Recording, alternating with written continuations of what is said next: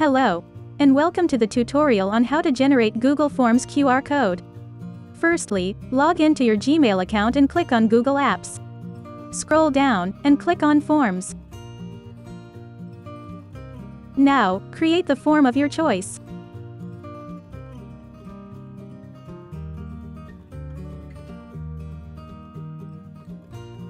Once created, click on the Send button.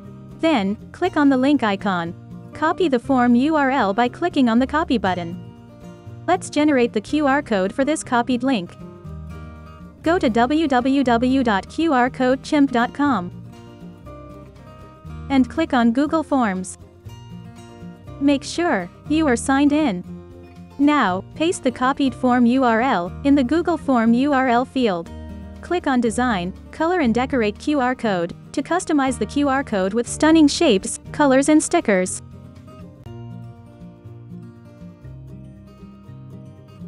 Select Add 3D Effect to give a 3D look to your QR code. Close the pop-up. Now click on Save QR Code button and enter the name of your QR code. Click on Save.